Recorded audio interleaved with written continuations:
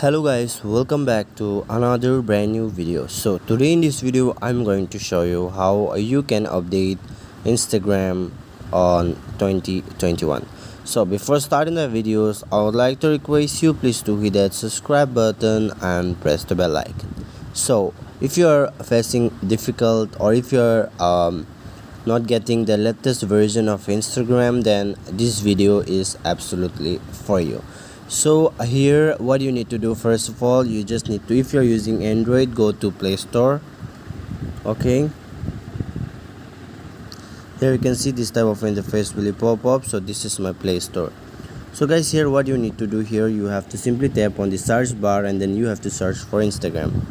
And here you can see i have successfully got the update option.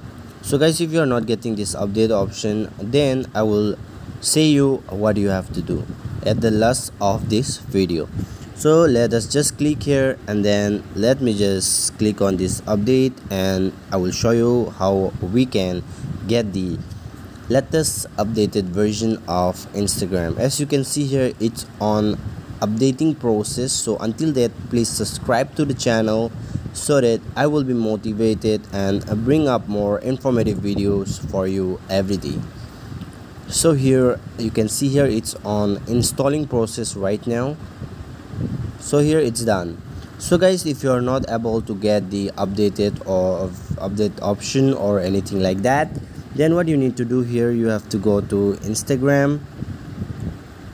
Here you can see this is my instagram and then what you need to do here you have to I will show you what you have to do. You have to uninstall your Instagram first of all so after uninstalling the Instagram you have to switch off your phone and then go to settings. Uh, after switch off you have to switch on it and then you have to go to your phone settings.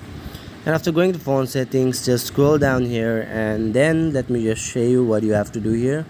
You have to go to software updates here or system updates simply click here and check whether your phone is asking for any update or not.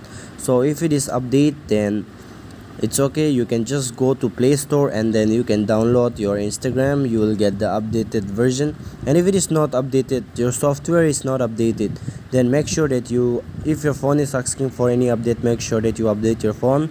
And then you can download the instagram. You will get the latest updated version. So this is how you can do that. I hope this video is absolutely helpful for you. Thanks for watching guys. See you soon on the next video